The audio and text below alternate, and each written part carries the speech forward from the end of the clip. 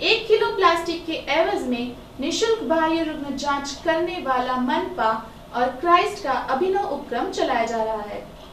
एक kilo plastic के एवज में निशुल्क बाह्य रुग्ण जाँच करने वाला मनपा और क्राइस्ट हॉस्पिटल का अनोखा उपक्रम प्लास्टिक मुक्त चंद्रपुर की दृष्टि से एक महत्वपूर्ण कदम है।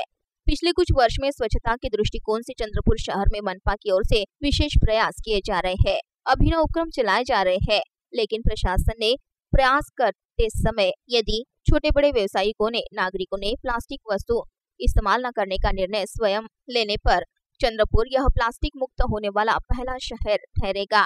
इसमें संदेह नहीं, ऐसा प्रतिपादन जिलाधिकारी डॉक्टर कुणाल खेमनार ने क्राइस्ट हॉस्पिटल में प्लास्टिक निर्मूलन अभियान अंतर्गत हुए कार्यक्रम अवसर पर किया। इस समय जिलाधिकारी ने मनपा के प्रयासों की सराहना करते हुए कहा कि चंद्रपुर शहर महानगर पालिका की ओर से प्लास्टिक मुक्त चंद्रपुर के लिए नावीन्यपूर्ण उपक्रम चलाया जा रहा है।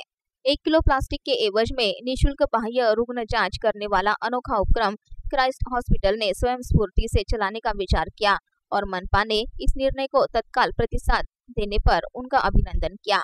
पहले डंपिंग यार्ड पर कचरे का ढेर दिखाई देता था, लेकिन अब महानगर पालिका के प्रयासों से वहाँ एक सुंदर बगीचा स्थापित किया गया है।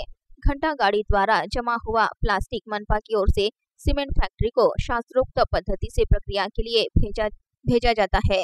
प्लास्टिक मुक्त जीवन के लिए प्लास्टिक के एवज में निशुल्क बाह्य रुग्ण जाँच करने वाला यह उपक्रम संपूर्ण ज़िले में चलाने का मानस इस समय उन्होंने व्यक्त किया।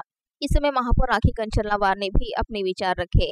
साथ ही स्वच्छ और प्लास्टिक मुक्त चंद्रपुर करने शहर के नागरिकों ने सहकार्य करने का आह्वान भी इस समय महापौर ने किया। आयुक्त संजय काकड़े ने भी अपने विचार रखे। कार्यक्रम में महिला और बाल कल्याण सभापति शीतल गुरनुले, सहायक आयुक्त धनंजय सरनाइक शीतल वाकड़े, क्राइस्ट हॉस्पिटल के father Joshi, Joseph, doctor Amit Dhas, मनपा शिक्षणाधिकारी नागेश नीत, साक्षी कार्लेकर, साथ ही क्राइस्ट हॉस्पिटल के डॉक्टर्स और कर्मचारी उपस्थित थे।